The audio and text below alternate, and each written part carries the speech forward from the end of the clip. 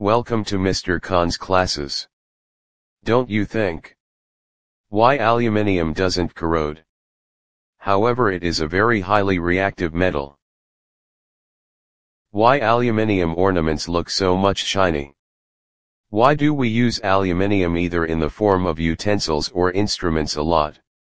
A lot of questions rise in our mind when we think about aluminium. Let introduce to you about anodizing. What do you mean by anodizing?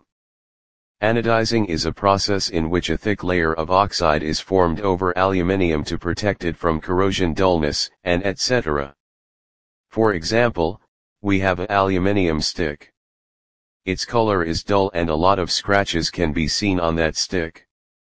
However, a thin oxide layer is formed over aluminium as it is highly reactive metal. Thin layer of oxide prevents aluminium from further formation of oxide layer. So, we use anodizing process to form thick and strengthen the bond of oxide layer with aluminium. After anodizing aluminium, we can prevent it from further corrosion scratches and so on. We can also give any color to the anodized stick. Before learning anodizing process, you should know some basic concepts of anode and cathode. Remember, plus sign shows positivity whereas minus sign shows negativity. Let use those memorized points in our learning. Anode is positively charged whereas cathode is negatively charged. Does it enough to understand anodizing process? No. Here, comes your next concept of anions and cations. Anions are negatively charged whereas cations are positively charged. Let's see how ions attract to electrodes. Anode attracts anions and cathode attracts cations. Our basic concept for anodizing process is clear. Why do we use two different terms anode, cathode and anions, cations? Is there any difference between these terms? Anode and cathode are electrodes whereas anions and cations are ions of electrolyte. You may be confused with electrode and ions. To understand these two terms, take a battery and two wires. Now, connect one wire at cathode and other at anode of the battery. Take a beaker and fill it with water. The wires which are carrying current from battery to water or other liquids are known as electrodes. The wire connected at cathode is known as negatively charged electrode and, the wire connected at anode is called positively charged electrode. In chemistry, we have learned that hydrogen is positively charged, oxygen is negatively charged and molecular formulae of water is H2O.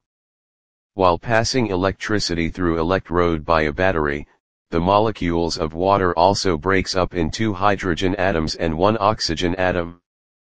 From this observation, we can say that ions are the charges of elements in liquid state. You have been waiting, since a long to learn anodizing process. We need the following things to understand anodizing process. 1 beaker. An instrument made of aluminium. Two wires, and one battery. Let's perform the activity. Take a battery. Connect one wire at anode and other at cathode. Take a beaker, fill any acid in that beaker.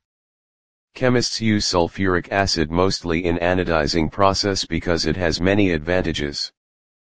Put aluminium at anode and any cheap metal like graphite or carbon at cathode.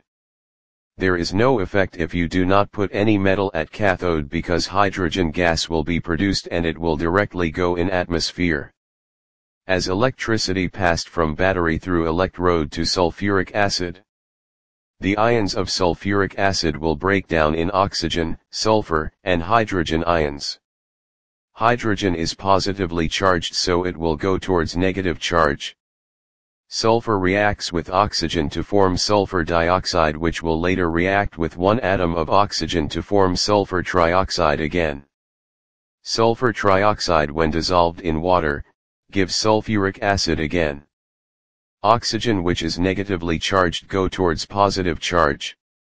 At anode, excess of oxygen gas is evolved, it react with aluminium to form thick layer of oxide and also strengthen its bond with aluminium. Do you know? Diamond is completely made up of carbon atoms. If you heat it at 763 Celsius, it will completely vanish without a little ash left behind. Thanks for watching. Like comment and share.